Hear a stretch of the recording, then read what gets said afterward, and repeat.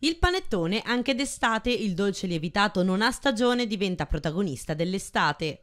Dopo il grande successo della Coppa del Mondo del Panettone 2023, il campionato si trasferisce per la seconda edizione del concorso estivo, quella che unisce la fragranza del panettone con la cremosità del gelato, al Porto Antico di Genova il 18 maggio. Qui sarà dato spazio ai pasticceri genovesi con un corner dedicato a un dolce della tradizione, il pan dolce basso. I pasticceri gelatieri in gara presenteranno due panettoni o di loro produzione o in collaborazione con un pasticcere. Uno dovrà essere farcito con il gelato, sorbetto e semifreddo, l'altro decorato a tema sportivo in onore di Genova, capitale europea dello sport. Una gara che ha l'obiettivo di destagionalizzare il panettone, il gelato e anche il pan dolce, che secondo la tradizione genovese si dovrebbe mangiare anche a Ferragosto.